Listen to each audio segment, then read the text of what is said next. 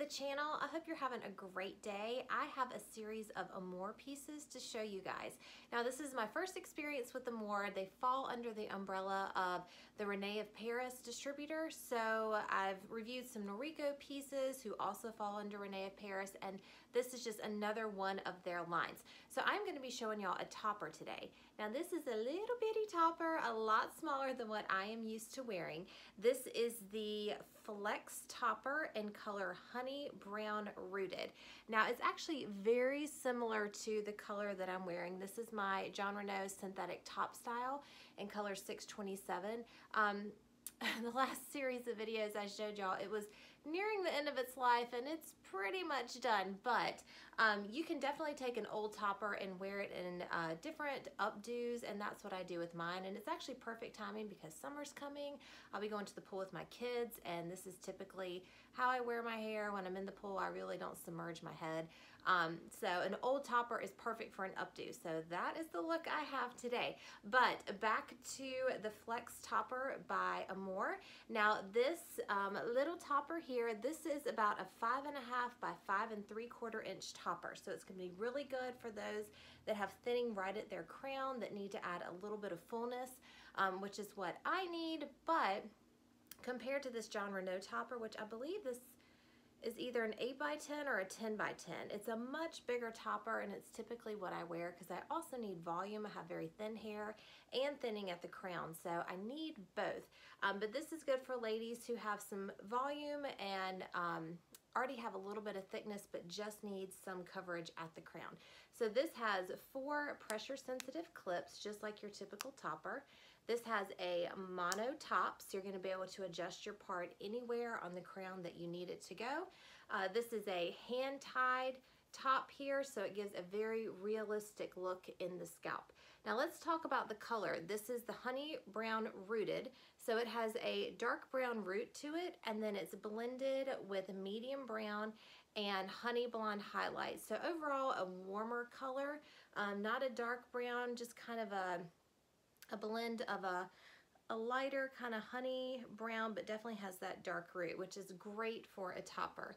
Um, this has um, a little bit of a short piece in the front, about 12 inches, but overall your length is gonna run about 14 inches. Okay, I'm super curious how this is gonna look. It's definitely gonna be, it's definitely gonna be a different look than what I typically wear, but we shall see. All right, be screenshot ready. Here are all the details on Amore's Flex TP.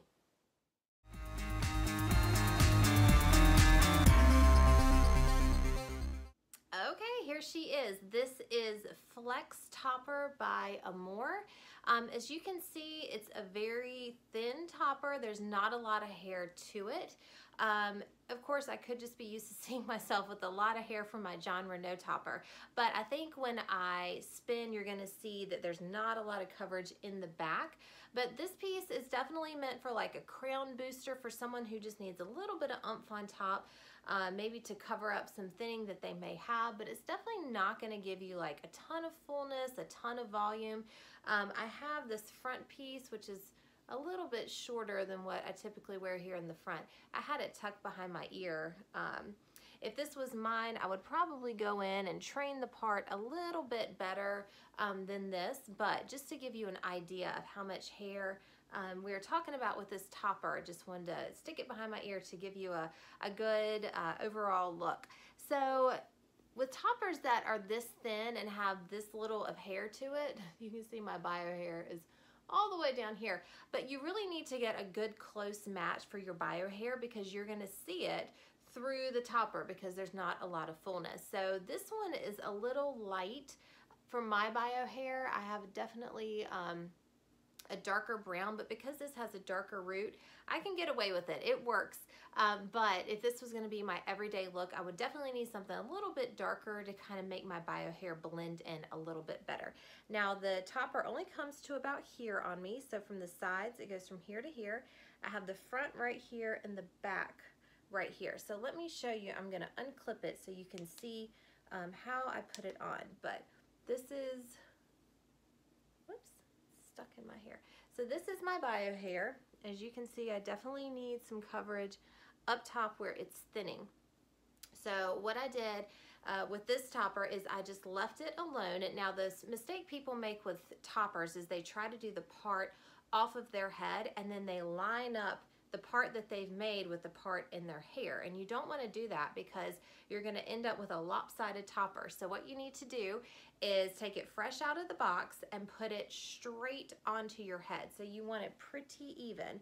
And a lot of people will tell you to put toppers kind of two, one to two inches back from your hairline, but I don't have a lot of hair up there, so I cannot go that far back off my hairline. I have to go pretty close.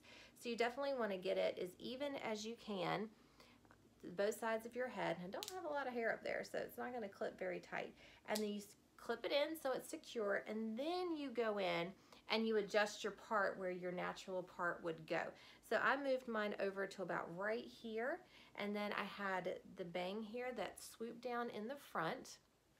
As you can see, the topper is about right here and then my bio hair comes down here. So I definitely have to do some customizing with my bio hair to kind of make this work if this was going to be my everyday look. But I do get, um, I can easily put it behind my ear to kind of get it out of my face and then I could definitely get a super easy updo with this since you can see because the topper doesn't have a lot of hair in the back. I just use my bio hair and pull it up.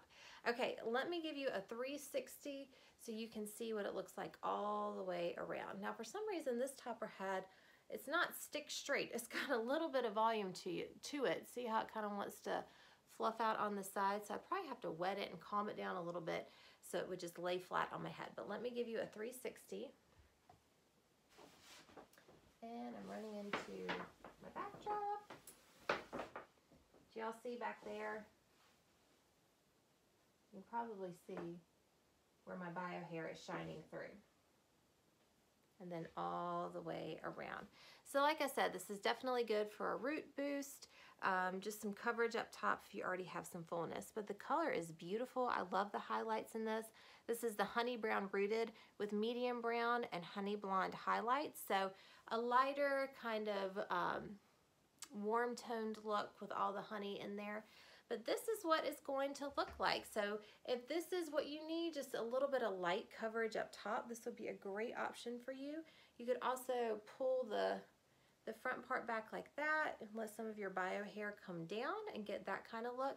And again, a light kind of smaller topper like this is great for updos. You can get a higher updo since you don't have the cap coming down too far, you can pull it up pretty high and get a high ponytail or something uh, pretty with an updo. But there she is. This is Amore's Flex Topper. Um, if you need her in your life, head on over to wigs. The distributor is, so it's kind of funny. So the distributor is Rene of Paris. So they have a big umbrella of different companies or lines under them. So you're going to look for the Amore line. Um, but you're going to see the Rene of Paris name on there as well. But look for the Amore line. And this topper is called Flex TP. The color is honey brown rooted. Okay, guys, I will see you next time. Bye.